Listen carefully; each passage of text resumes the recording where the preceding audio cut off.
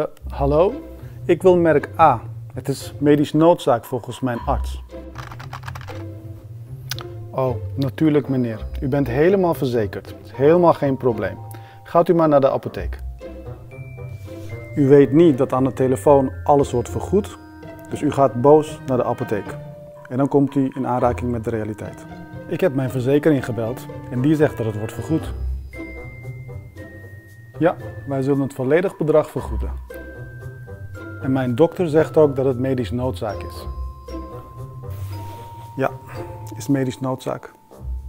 Oh, oké, alstublieft. uh, meneer de apotheker, volgens deze overeenkomst, die u moest ondertekenen omdat u geen enkel andere keus had, mag u dat wel afleveren, maar als u te vaak niet levert wat wij willen, dan krijgt u aan het einde van het jaar een boete. Maar u bent als zorgverlener voor de rest helemaal vrij om te doen wat u wilt hoor.